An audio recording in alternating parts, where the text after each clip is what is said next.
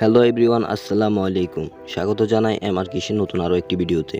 আমাদের আজকের ভিডিওর টপিক কীভাবে বাড়িফোর অথবা ব্যানানার পার্থক্য এবং বৈশিষ্ট্য বিভিন্ন জাত এবং বিভিন্ন পার্থক্য সম্পর্কে বিস্তারিত।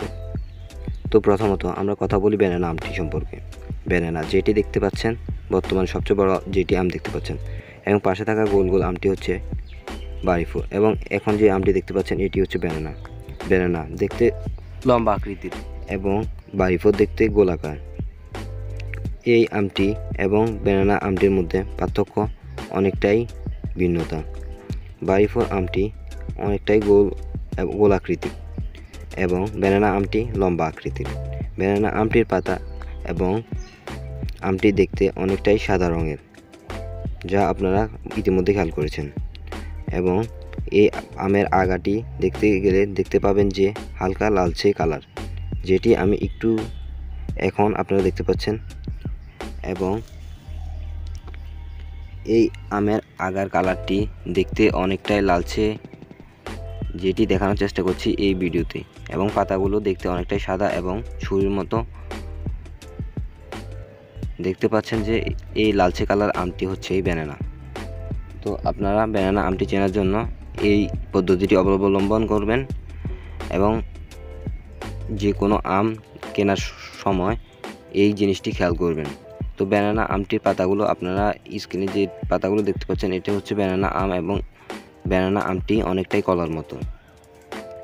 এবং অন্যদিকে বাড়িফোর আমটি রয়েছে, এই আমটি দেখতে অনেকটাই গোলাকার এবং অন্য আমের মতোই। এবং পাতাগুলো লম্বা আকৃতির এবং সবচেয়ে বেশি ফলনশীল আমের হলো বাড়িফোর। ব্যানানা ও কম হয় না।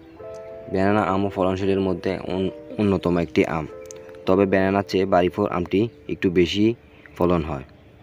বাড়িফোর সাইজে অনেক বড় হয় এবং কাঁচা অবস্থায় মিষ্টি এবং পাকলে প্রচুর মিষ্টি। বাড়িফোর আমের সাইজ অনেকটাই চারশো থেকে সাড়ে চারশো গ্রাম পর্যন্ত হয়ে থাকে। এবং এই আমটি সবচেয়ে গুণগত মান হলো মিষ্টি কাঁচা অবস্থায় এবং পাকা অবস্থায়ও অনেক মিষ্টি। এছাড়া ব্যানানা আমটি কাঁচা অবস্থায় টক এবং পাকলে মিষ্টি হয়। তাছাড়া বাড়িপুর ব্যানানা দুইটাই আম উচ্চ ফলনশীল জাত। ব্যানানা আমটি দেখতে পাচ্ছেন যে একটি গাছে কি পরিমাণ ফলন হয় তা আপনাদের এই ভিডিওতে দেখানোর চেষ্টা করতেছি। এই পাশে কয়েকটি আম এবং এর আগে দেখা আমগুলো দেখতে পাচ্ছেন। এছাড়াও বিভিন্ন জাত ও জাত সম্পর্কে আমাদের ভিডিও দিয়ে থাকি। ব্যানানা আম সম্পর্কে আরও ভিডিও আছে আমাদের ডিসক্রিপশন বক্সে এবং বারিপুর জাত সম্পর্কেও ডিসক্রিপশন বক্সে লিঙ্ক দেওয়া আছে এই জাতগুলো সম্পর্কে। চাইলে আপনারা দেখে আসতে পারেন। বারিফোর এবং ব্যানানা দুইটাই জাতের মধ্যে পার্থক্যগুলো আপনাদের বোঝানোর চেষ্টা করেছিলাম।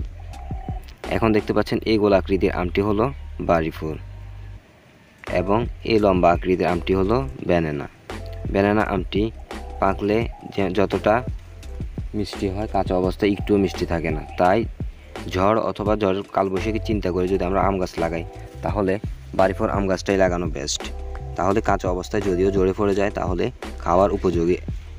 এবং ব্যানানা আমটি কাঁচা অবস্থায় খাওয়ার তেমন একটা উপযোগী না। যদিও ঝড়ে পড়ে যায়, তাহলে আমাদের সবগুলো আম খেতে হয়। তাই ব্যানানা থেকে বাড়ি বাড়িফোর আম গাছটি লাগানোই উত্তম। ধন্যবাদ।